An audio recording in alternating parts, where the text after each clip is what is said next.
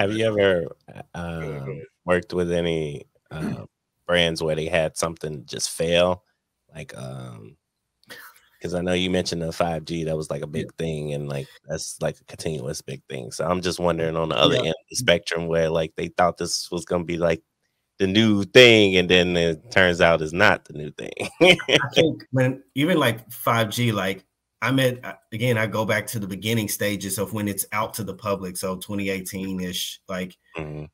there are moments where we were testing stuff and it's like, dang, it's not hitting. We got to like change a whole, like we would build, we were renting out like these uh, storefronts and building these experiences. and before we go, we would have to go test and see if 5G would be even capable in this spot. It only was in certain spots. And mm-hmm. we get there, we can be like, damn, it's not working here. So we got to go find another and start all the way over.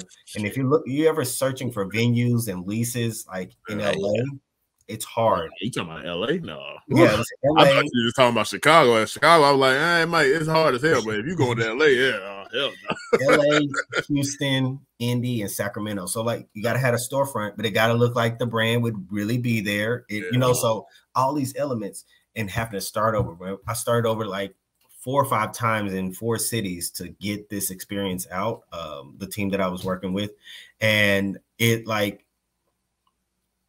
that just that testing and and so again like I would say that in some kind of failure, but it's really trying again. I really don't look at it like failing completely because we did execute the experience uh, when it came out.